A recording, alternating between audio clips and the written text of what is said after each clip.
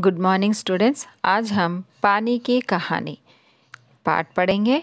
इसके लेखक हैं, रचनाकार है, रामचंद्र तिवारी जी। प्रस्तावना प्रसंग। चित्र में देखिए, ज़मीन सूखा गया है और पशु वहाँ से जा रहे हैं। मतलब बारिश के बिना ज़मीन सूखा पड़ा हुआ है। यहाँ पर छोटी सी कविता दिया, दी गई है। सावन भादो साधु हो गए। बादल सब सन्यासी। पछुआ चूस गई पुरबा को। धरती रह गई प्यासी। फ़सलों ने बैराग ले लिया। जोगी हो गई धानी। राम जाने कब बरसेगा पानी? राम जाने कब बरसेगा पानी? बेकल उत्साही, इसके रचनाकार है बेकल उत्साही। यहाँ पर तीन प्रश्न दिए गए हैं। इन पंक्तियों में कैसे समय का वर्णन है? यहाँ पर बारिश ना पड़ने के, बादल ना होने के समय का वर्णन है। यहाँ पर सूखा पड़ा हुआ है। अकाल में लोगों को क्या क्या समस्या होती होंगी? अकाल यानी जब बारिश नहीं होती है, तब अकाल पड़ता है। जब अनाज नहीं उगता है, पीने के लिए पानी की परेशानी होती है। पशु को पशु पक्षियों को चारा नहीं मिल सकता है, हमें भी अनाज की समस्या आ जाती है। इस तरह सभी को समस्याएँ बहुत सारे आ आ जाती हैं। पानी हम लोगों तक कैसे पहुँचता है?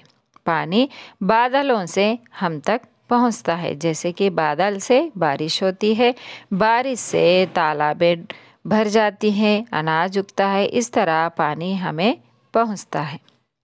मैं आगे बढ़ा ही था कि बेर की झाड़ी पर से मोती सी एक बूंद मेरे हाथ पर आ पड़ी। मेरे आश्चर्य का ठिकाना ना रहा। जब मैंने देखा कि ओस की बूंद मेरी कलाई पर से सरक कर हथेली पर आ गई, मेरी दृष्टि पड़ते ही वह ठहर गई। थोड़ी देर में मुझे सितार के तारों की सी झंकार सुनाई देते लगी। मैंने सोचा कि कोई बजा रहा होगा। चारों ओर देखा, कोई नहीं। फिर अनुभव हुआ कि यह स्वर मेरी हथेली से निकल रहा है। ध्यान से देखने पर मालूम हुआ कि बूंद के दो कण हो गए हैं और वे दोनों हिल हिल कर यह स्वर उत्पन्न कर रहे हैं, मानो बोल रहे हो। उसी सुरीली आवाज़ में मैंने सुना, सुनो सुनो, मैं चुप था। फिर आवाज़ आई, सुनो सुनो, अब मुझसे ना रहा गया, मेरे मुख से निकल गया, कहो कहो। ओस की बूंद मानो प्रसन्नता से हिली और बोली, मैं ओस हूँ, जानता हूँ, मैंने कहा, लोग मुझे पानी कहते हैं, जल भी मालूम है, मैं बेर के पेड़ में से आई हूँ, झूठी मैंने कहा और सोचा बेर के पेड़ से क्या पानी का फव्वारा निकलता है? बूंद फिर हिली, मानो मेरे अविश्वास से उसे दुख हुआ हो। सुनो, मैं इस पेड़ के पास की भूमि में बहुत दिनों से इधर उधर घूम रही थी। मैं कणों का हृदय टटोलती फिरती थी कि एकाएक पकड़ी गई। कैसे? मैंने पूछा। वह जो पेड़ तुम देखते हो ना वह ऊपर ही इतना बड़ा नहीं है, पृथ्वी में भी लगभग इतना ही बड़ा है। उसकी बड़ी जड़ें, छोटी जड़ें और जड़ों के रोए हैं। वे रोए बड़े निर्दयी होते हैं। मुझ जैसी असंख्य जल कणों को वे बलपूर्वक पृथ्वी में से खींच लेते हैं। कुछ को तो पेड़ एकदम खा जाते हैं और अधिकांश का सब कुछ छीनकर उन्हें बाहर निकाल देते हैं। क्रोध और घृणा से उसका शरीर काँप उठा। तुम क्या समझते हो कि वे इतने बड़े यों ही खड़े हैं? इन्हें इतना बड़ा बनाने के लिए मेरे असंख्य बंधुओं ने अपने प्राण नाश किए हैं। मैं बड़े ध्यान से उसकी कहानी सुन रहा था। हाँ तो मैं भूमि के खनिजों को अपने शरीर में घुलाकर आनंद से फिर रही थी। कि दुर्भाग्यवश एक रोए से मेरा शरीर छू गया। मैं कापी, दूर भागने का प्रयत्न किया, परंतु वे पकड़कर छोड़ना नहीं जानते। मैं रोए में खींच ली गई। फिर क्या हुआ? मैंने पूछा। मेरी उत्सुकता बढ़ बढ़ चली थी। मैं एक कठरी में बंद कर दी गई। थोड़ी देर बाद ऐसा जान पड़ा कि कोई मुझे पीछे से धक्का दे रहा है। और कोई मानो हाथ पकड़कर आगे को खींच रहा हो। मेरा एक भाई भी वहाँ लाया गया। उसके लिए स्थान बनाने के कारण मुझे दबाया जा रहा था। आगे एक और बूंद मेरा हाथ पकड़कर ऊपर खींच रही थी। मैं उन दोनों के बीच पिस चली। मैं लगभग तीन दिन तक यह सांसद भोगती रही। मैं पत्तों के नन्हे नन्हे छेदों से होकर, जैसे तैसे जान बचाकर भागी। मैंने सोचा था कि पत्ते पर पहुँचते ही उड़ जाऊँगी, परंतु बाहर निकलने पर ज्ञात हुआ कि रात होने वाली थी और सूर्य जो हमें उड़ने की शक्ति देता है। जा चका जा चका है और वायुमंडल में इतने जल कण उड़ रहे हैं कि मेरे लिए वहाँ स्थान नहीं था। नहीं है। तो मैं अपने भाग्य पर भरोसा कर पत्तों पर ही सिकुड़ी पड़ी रही। अभी जब तुम्हें देखा तो जान में जान आई और रक्षा पाने के लिए तुम्हारे हाथ पर कूद पड़ी। यहाँ पर ओस की बूंद मनुष्य से बात कर रहा है। इस दुख तथा भावपूर्ण कहानी का मुझ पर बड़ा प्रभाव पड़ा। मैंने कहा, जब तक तुम मेरे पास हो, कोई पत्ता तुम्हें ना छू सकेगा। भैया, तुम्हें इसके लिए धन्यवाद है। मैं जब तक सूर्य ना निकले, तभी तक रक्षा चाहती हूँ। उनका दर्शन करते ही मुझमें उड़ने की शक्ति आ जाएगी। मेरा जीवन विचित्र घटनाओं से परिपूर्ण है। मैं उसकी कहानी तुम्हें सुनाऊँगी तो तुम्हारा हाथ तनिक भी ना दुखेगा। अच्छा सुनाओ। बहुत दिन हुए, मेरे पुरखे हाइड्रोजन और ओसजन मतलब ऑक्सीजन नामक दो गैस सूर्यमंडल में लपटों के रूप में विद्यमान थी। सूर्यमंडल अपने निश्चित मार्ग पर चक्कर काट रहा था।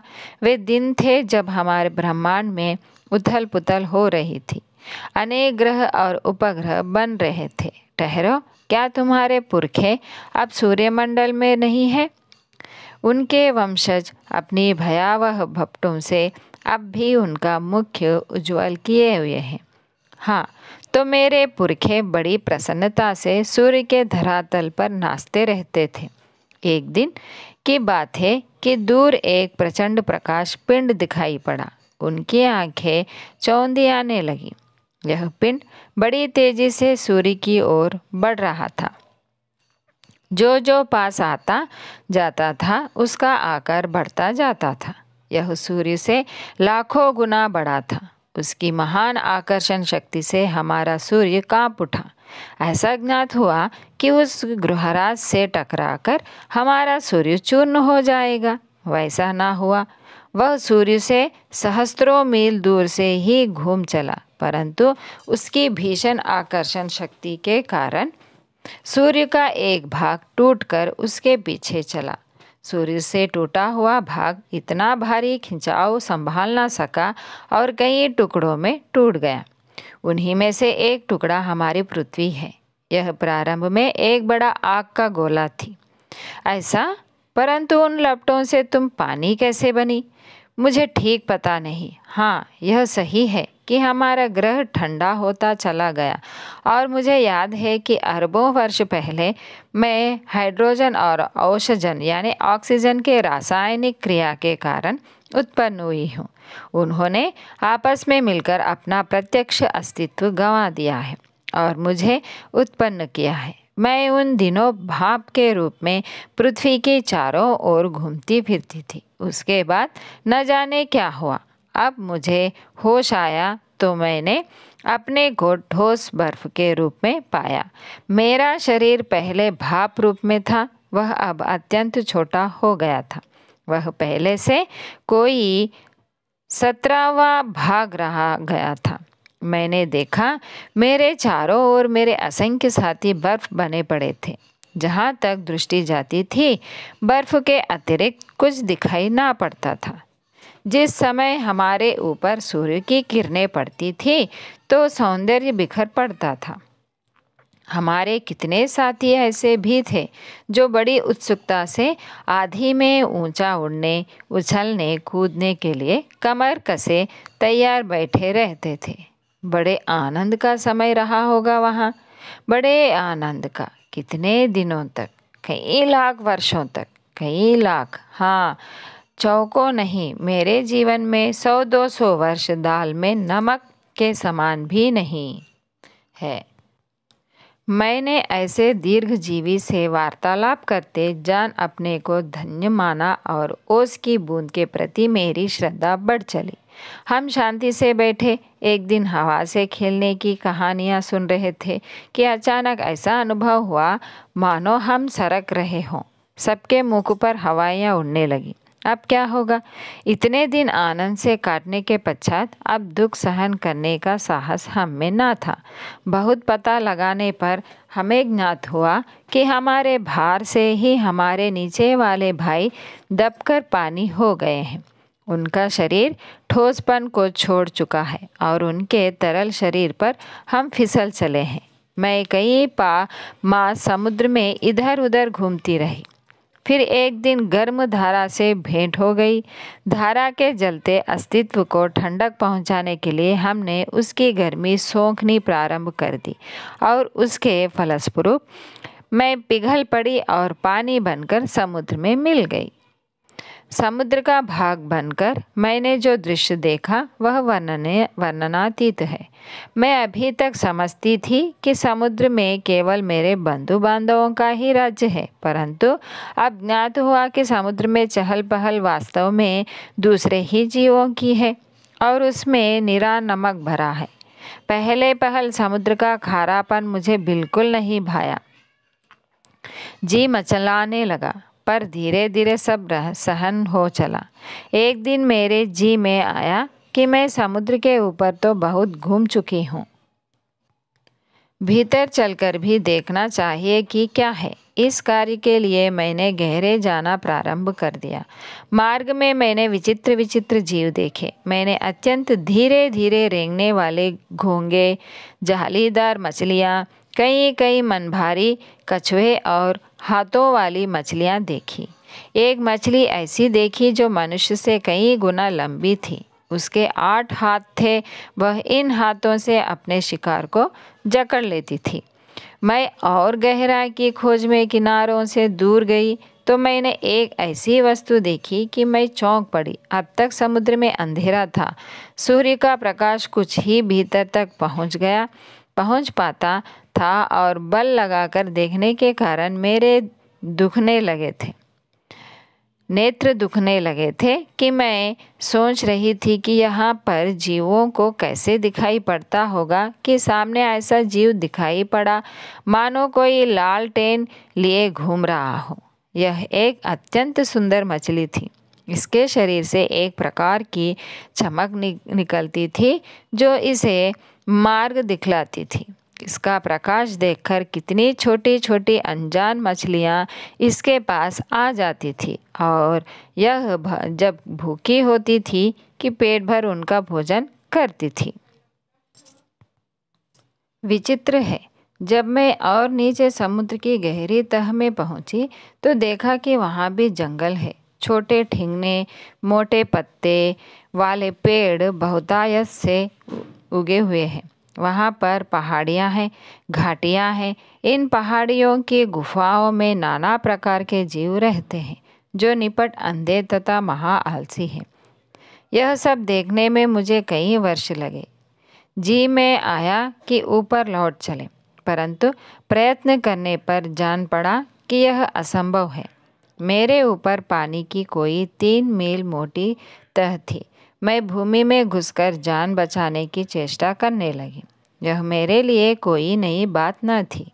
करोड़ों जलकन इसी भांति अपनी जान बचाते हैं और समुद्र का जल नीचे धसता जाता है। मैं अपने दूसरे भाइयों के पीछे पीछे चट्टान में घुस गई। कई वर्षों में कई मील मोटी चट्टान में घुसकर हम पृथ्वी के भीतर एक खोखले स्थान में निकले। और एक स्थान पर इकट्ठा होकर हम लोगों ने सोचा कि क्या करना चाहिए। कुछ की सम्मानती में वही पड़ा रहना ठीक था, परंतु हम में कुछ उत्साही युवा भी थे।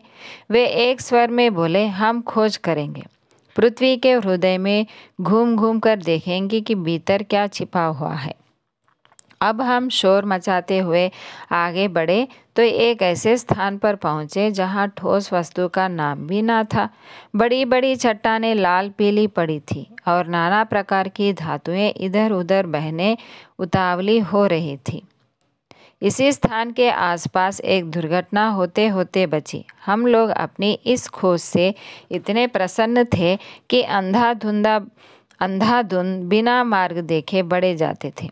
उससे अचानक एक ऐसी जगह जा चाह, पहुँचे जहाँ तापक्रम बहुत ऊँचा था। यह हमारे लिए असह्य था। हमारे अगुआ कांपे और देखते देखते उनका शरीर ओषजन और हाइड्रोजन में विभाजित हो गया। इस दुर्घटना से मेरे कान खड़े हो गए। मैं अपने और बुद्धिमान साथियों के साथ एक और निकल भागी। हम लोग अब एक ऐसे स्थान पर पहुँचे जहाँ पृथ्वी का गर्भ रह रह कर हिल रहा था।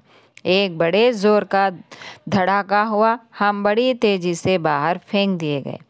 हम ऊँचे आकाश में उड़ चले। इस दुर्घटना से हम चौंक पड़े थे कि पीछे देखने से ज्ञात हुआ कि पृथ्वी फट गई है और उसमें धुआँ, रेत, पिघलती, पिघली धातुएँ तथा लपटें निकल रही है। यह दृश्य बड़ा ही शानदार था और इसे देखने की हमें बार बार इच्छा होने लगी। मैं समझ गया कि तुम ज्वालामुखी की बात कह रही हो। हाँ तुम लोग उसे ज्वालामुखी कहते हो। अब जब हम ऊपर पहुँचे तो हमें एक और भाप का बड़ा दल मिला। हम गरज कर आपस में मिले और आगे बढ़े। पुरानी सहेली आंधी की भी हमें यहाँ दर्शन हुए वह हमें पीठ पर लादे, कभी इधर ले जाती, कभी उधर। वह दिन बड़े आनंद के थे। हम आकाश में स्वच्छंद खिलोलो किलोले करते फिरते थे। बहुत से भाप जल कणों के मिलने के कारण हम भारी हो चले और नीचे झुक आए और एक दिन बूंद बनकर नीचे कूद पड़े। मैं एक पहाड़ पर गिरी और अपने साथियों के साथ मैली कुचैली हो एक और को बह चली। पहाड़ों में एक पत्थर से दूसरे पत्थर पर कूदने और किलकारी मारने में जो आनंद आया, वह भूला नहीं जा सकता। हम एक बार बड़ी ऊँची शिखर पर से कूदे और नीचे एक चट्टान पर गिरे। बेचारा पत्थर हमारे प्रहार से टूटकर खंड खंड हो गया। यह जो तुम इतनी रेत देखती हो, पत्थरों को चबा चबा कर गर्मी बनाते हो हरमी बनाते हैं। जिस समय हम मौज में आते हैं तो कठोर से कठोर वस्तु हमारा प्रहार सहन नहीं कर सकती। अपनी विजयों से उन्मत्त होकर हम लोग इधर उधर बिखर गए। मेरी इच्छा बहुत दिनों से समतल भूमि देखने की थी, इसलिए मैं एक छोटी धारा में मिल गई। सरिता के वे दिवस बड़े मज़े के थे। सरिता यानी नदी। हम कभी भूमि को काटते, कभी पेड़ों को खोकल कर उन्हें घिरा देते, बहते बहते मैं एक दिन एक नगर के पास पहुँची। मैंने देखा कि नदी के तट पर एक ऊँची मीनार में से कुछ काली काली हवा निकल रही है। मैं उत्सुक हो उसे देखने को क्या बड़ी कि अपने हाथों दुर्भाग्य हो न्योता दिया। जो ही मैं उसके पास पहुँची, अपने और साथियों के साथ एक मोटे नल में खींच ली गई। कई दिनों तक मैं नल नल घूमती फिरी। मैं प्रतिक्षण उसमें से निकल भागने की चेष्टा में लगी रही थी। भाग्य मेरे साथ था। बस एक दिन रात के समय मैं ऐसे स्थान पर पहुँची जहाँ नल टूटा हुआ था। मैं तुरंत उसमें से होकर निकल भागी और पृथ्वी में समा गई। अंदर ही अंदर घूमते घूमते इस बेर के पेड़ पे पास पहुँच गई। वह रुकी, सूर्य निकल आए थे। बस मैंने कहा हाँ मैं अब तुम्हारे पास नहीं ठहर सकती। सूर्य निकल आए हैं। तुम मुझे रोककर नहीं रख सकते। वह ओस की बूंद धीरे धीरे घटी और आँखों से ओचल हो गई। तो बच्चों, यहाँ पर इस पाठ में हमने पानी के बारे में, ओस के बूंदों के बारे में हमने जाना है। अगर आपको यह वीडियो अच्छा लगा तो मेरे वीडियो को लाइक कीजिएगा, अपने मित्रों को शेयर कीजिएगा और मुझे सपोर्ट करने के लिए मेरे चैनल को सब्सक्राइब कीजिएगा। धन्यवाद।